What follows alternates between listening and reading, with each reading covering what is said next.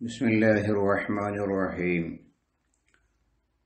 الحمد لله رب العالمين الصلاة والسلام على أشرف المرسلين وعلى آله وأصحابه الفائزين Riyadh സ്വാലിഹീൻ അഞ്ഞൂറ്റി അൻപത്തി ഏഴ് ബാബു ഫല്ലി ഖിയാമില്ലയിൽ ഖിയാമുല്ലയിലിന്റെ മഹത്വത്തെപ്പറ്റി പറയുന്ന അധ്യായം രാത്രിയിലുള്ള നിസ്കാരം ഉറക്കം ഒഴിച്ചുകൊണ്ടുള്ള തഹജ്ജു നിസ്കാരം.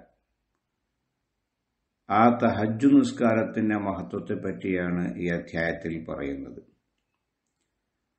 എല്ലാവരും വിശ്രമിക്കുന്ന സമയം നല്ല സുഖ സുഷുപ്തിയിൽ ആളുകൾ ലയിക്കുന്ന സമയം സൃഷ്ടാവായ റബ്ബിന്റെ മുന്നിൽ ഉളു ചെയ്ത് നിസ്കരിക്കുന്ന അടിമയെ അള്ളാഹു വളരെ ഇഷ്ടപ്പെടും. വലിയ സ്ഥാനം പരലോകത്ത് അവൻ അള്ളാഹു നൽകി അനുഗ്രഹിക്കും. അവന്റെ മുഖം പ്രസന്നമായിരിക്കും. അള്ളാഹു താര പറഞ്ഞു സുറത്തുൽ ഫത്തഹജ്ജദ് ബിഹി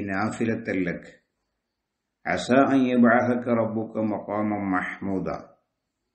സൂറത്തുൽ ആയത്ത്. മുത്തനബി സല്ലാഹു അലഹി വസ്ലമ തങ്ങളോട് അള്ളാഹു പറയാൻ വമിനല്ലൈലി ഫത്തഹജ്ജദ് ബിഹി.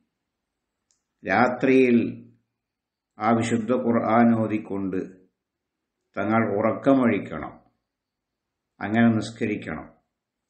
നാഫിലത്തില്ലക്ക തങ്ങൾക്കത് നാഫിലത്താണ് അധിക മഹത്വമാണ്. ഇതുവഴി പാപമോചനമൊന്നും നിബിതങ്ങൾക്ക് ലഭിക്കാനില്ലല്ലോ. കാരണം മാസവുമാണ് റസൂർവാഹി സല്ലാഹു അലി വസ്ലമ തങ്ങൾ. അതുകൊണ്ട് തന്നെ ഈ പവിത്രമായ സംസ്കാരത്തിലൂടെ അവിടുത്തെ സ്ഥാനം വളരെ വളരെ ഉയർന്നുകൊണ്ടേയിരിക്കുകയാണ്. നാഫിലത്തല്ലക്ക്. തങ്ങൾക്കുള്ള സ്ഥാനോയർച്ചയായിട്ട് സ്ഥാനക്കയറ്റമായിട്ട് അങ്ങനെ ഒരു വ്യാഖ്യാനം മഹാന്മാർ കൊടുത്തിട്ടുണ്ട്. ഇനി ഇങ്ങനെയും പറയാം നാഫിലത്തല്ലക്ക ഇത് തങ്ങൾക്ക് അധിക നിർബന്ധമായിട്ട്. അഥവാ തഹജു നിസ്കാരം നബി സല്ലാഹു അലൈ വസ്ലമാ തങ്ങൾക്ക് ഫറലായിരുന്നു ഉമ്മത്തിന് ഫറലില്ല അഞ്ചു നേര നിസ്കാരം മാത്രമേ ഉമ്മത്തിന് ഫറലുള്ളൂ മുത്തനബി സല്ലാഹു അലൈ വസ്ലമാ തങ്ങൾക്ക് ഈ തഹജുദ് ഫറലാണ് അതാണ് നാഫിലത്തല്ലക്ക തങ്ങൾക്ക് അധിക ഫറലായിട്ട് കാരണം നബി സല്ലാഹു അലൈ വസ്ലമ തങ്ങൾ ലോകത്തെ നിയന്ത്രിക്കുന്ന റഹ്മത്തുലിൽ ആലമീനാണ്. അപ്പോൾ കൂടുതൽ ആത്മീയ ഊർജവും അതിന് ഉശിരും ധൈര്യവും ഇങ്ങനെ വർദ്ധിച്ചുകൊണ്ടേയിരിക്കണം.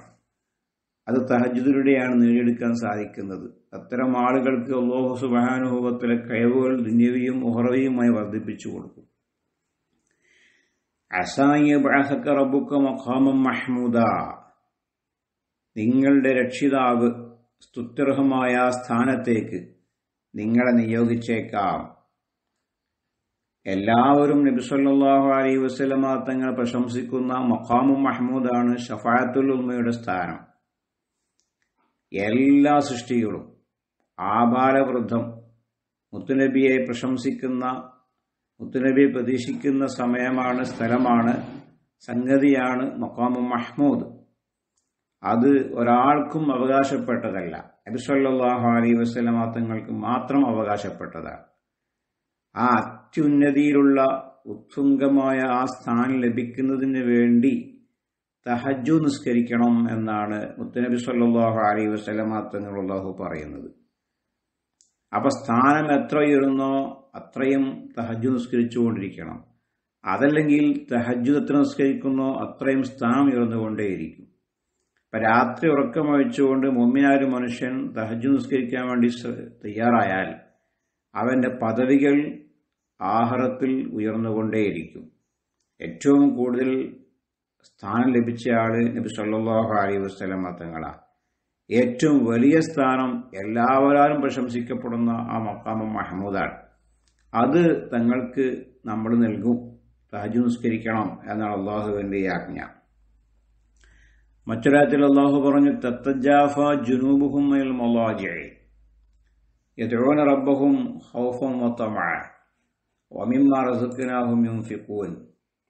സത്യവിശ്വാസികളെ പറ്റി അള്ളാഹു പറയാണ് തത്തജാഫ ജുനൂബുഹും അനിൽ മലാജി കിടക്കുന്ന സ്ഥലങ്ങളിൽ നിന്ന് അവരുടെ പാർശ്വങ്ങൾ ഉയരുന്നതാണ്. വിരിപ്പുകളിൽ നിന്ന് ഉറങ്ങുന്ന സ്ഥലങ്ങളിൽ നിന്ന് അവരുടെ പാർശ്വങ്ങൾ ഉയരും. സുഖസുന്ദരമായ ഉറക്കിൽ നിന്ന് എഴുന്നേൽക്കാൻ വലിയ പ്രയാസവും സാഹസവുമാണ്.